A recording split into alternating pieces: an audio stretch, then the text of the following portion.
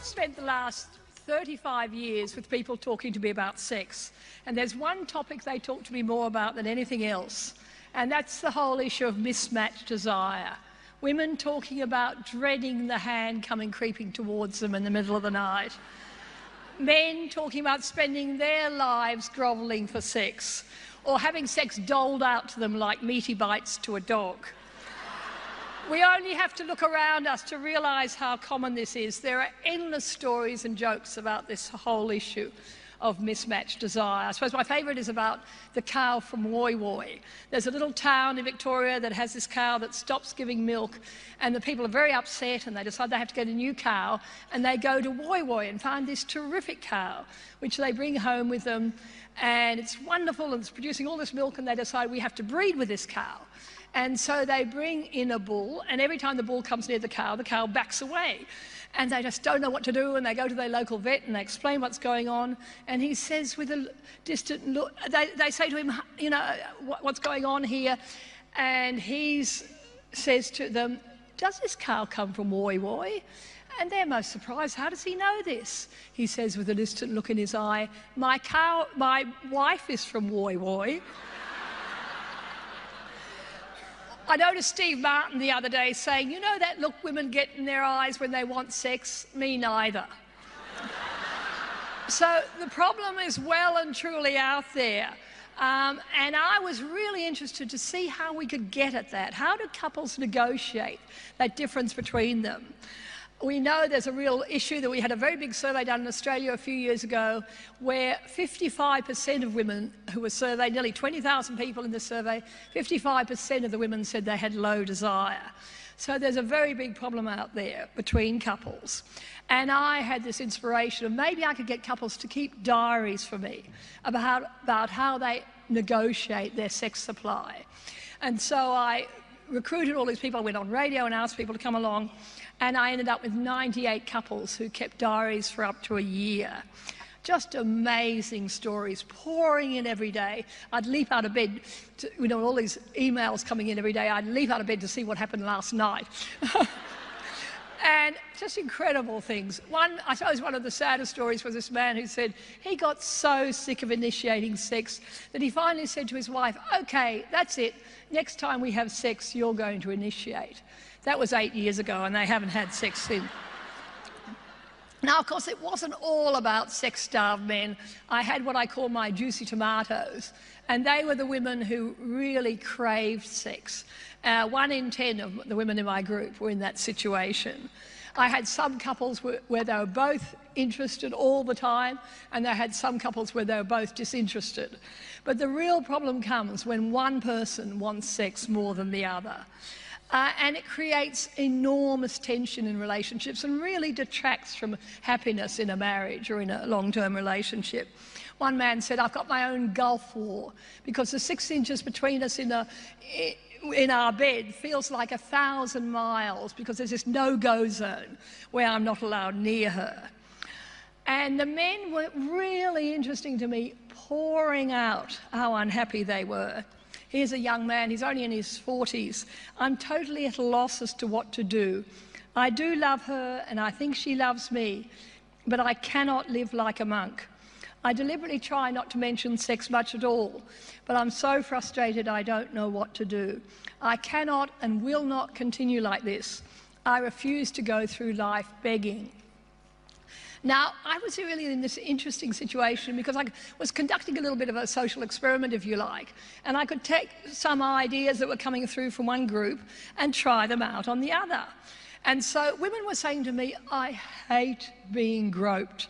They were talking about liking being cuddled, they liked having his arms around them, but inevitably the hand would stray to the bottom or the boobs and they got, you know, they hated that. I hate being groped, they said to me.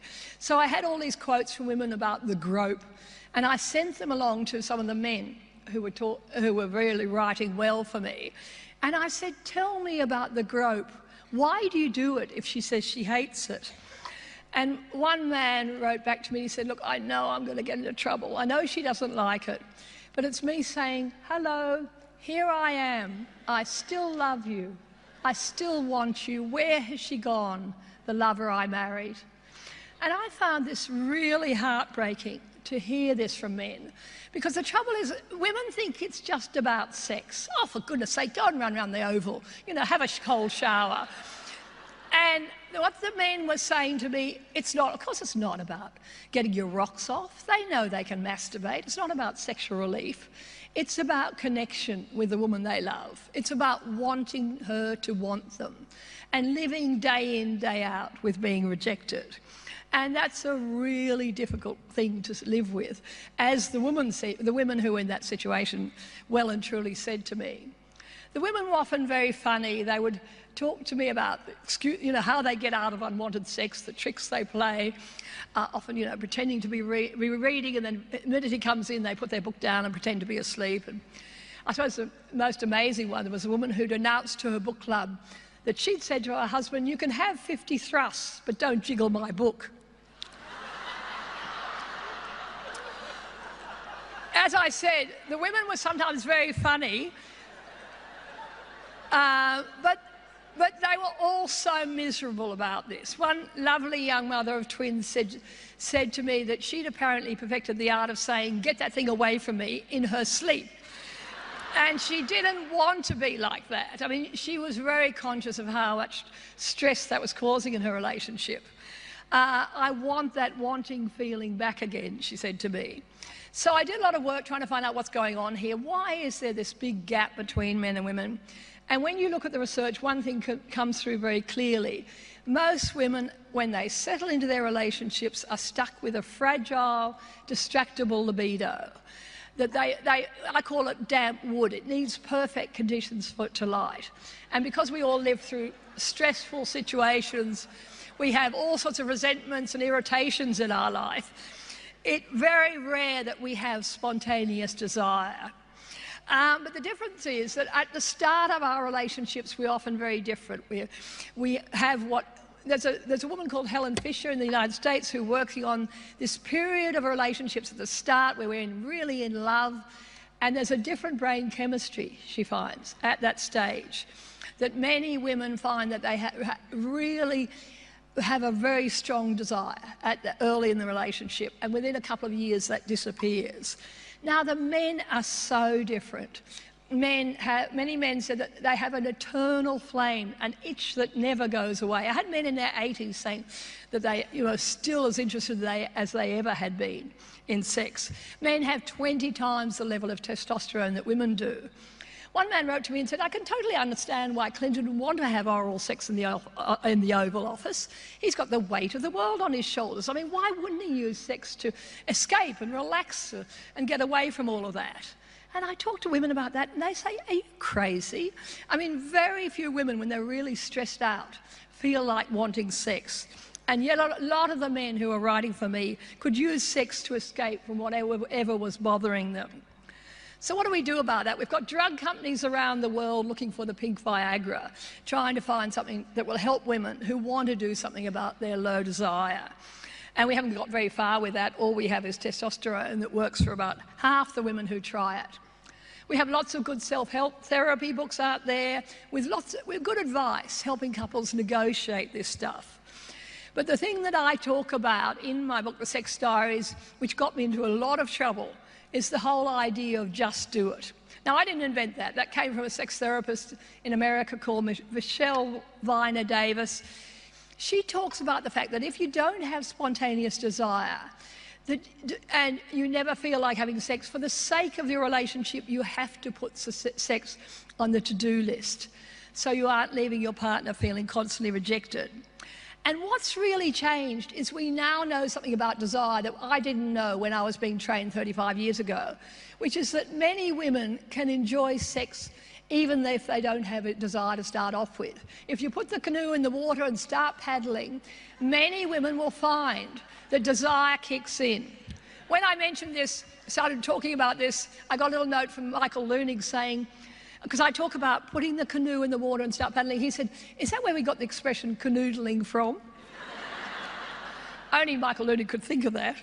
Um, now, but that's really important shift because I'm not saying you have to go ahead and bonk. You can, you know, you can start putting the canoe in, and if it doesn't work for you, you can stop. You can give him pleasure in other ways. You've got a mouth, you've got a hands, you've got other ways of dealing with this issue.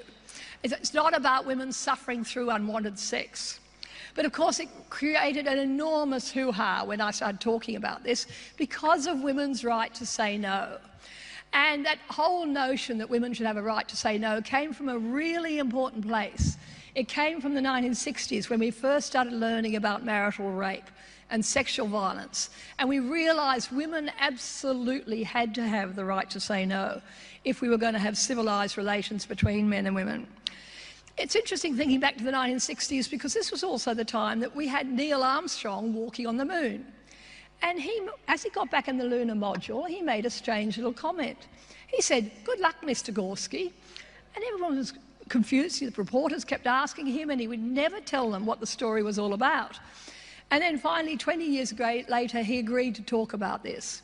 And he said that, he explained that when he was growing up, his Gorskis was his next door neighbour, and he was playing baseball with his mates, and the ball went over the fence, and he was outside the Gorski bedroom window and heard Mrs. Gorski yell at Mr. Gorski, Sex! You want sex? You'll get sex when the kid next door walks on the moon. Such a great story, huh? I was so excited when I heard that story. It's only an urban myth, but it's really interesting because the world is full of Mrs. Gorskis. And it's an amazing thing. It's a, the world is full of women who feel absolutely entitled to shut up shop if they're not interested in sex. Now, I find this most intriguing because it's not as if we're asking women to do anything terribly arduous or dangerous. It's not like cleaning an oven. Um, a woman wrote to me the other day and said, a, a female doctor, and she said it's not, root, she's always telling her patients, it's not root canal therapy. Um, and when you think of what women do to look after their husbands, to try to make them happy, they cook three course meals, they iron tea towels, they do all this crazy stuff. When a five minute bonk every now and then, would that make that man a lot happier than a lot of the things they do for him? and the point is, I'm not saying it's not a one way street. I'm saying that whoever it is who's doing the rejecting in their, in their relationship needs to think about the impact of that, that rejection on their partner. And I also had men who were in that situation of they had been the ones who were, who were rejecting their partner, and their women were extremely unhappy about this. I had a woman who runs a prostate cancer support group the other day where she had a lot of women who thought they were just over sex. They didn't think they were remotely interested. And she said they've got, she's always got women in tears, talking about realizing how much it meant to them to have their husband still want them. And when the men are in that situation of worrying about sexual performance and worrying about get erect, getting erections, many don't in, go near their partners because it's all just too hard. I had one lovely couple writing for me last year who, in a situation, he had had a heart surgery and he was on medication that was causing him not to get erections. And she said she was so happy because he still wanted to make love to her. His affection and desire for me was truly beautiful and something I'll treasure always. It's hard to put into words what his gentleness, feather like touches, kisses, and cuddles did for me. It was a display of how deeply he loved and wanted to be with me and made me feel pretty special. And she talked about these lovely afternoons they spent making love to each other. And then but she said to me, she loved his erection and she really missed it.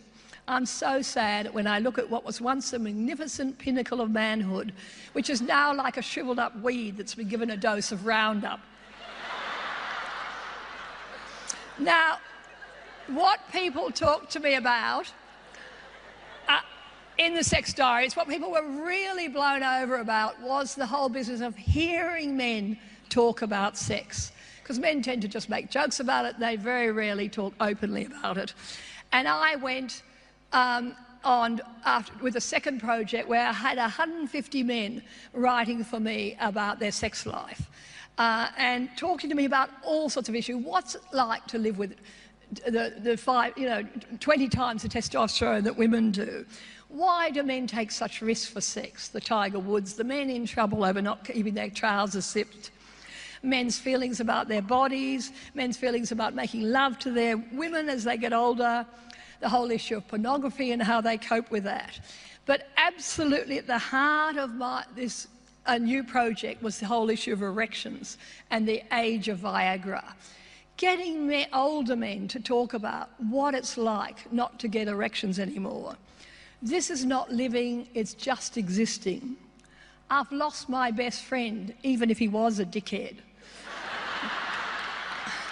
I have wonderful material with men talking about these new, fantastic new erection treatments that are out there and how they feel about them and the difference it makes their lives to be able to have a new lease of sexual life, particularly if they've had something like prostate cancer.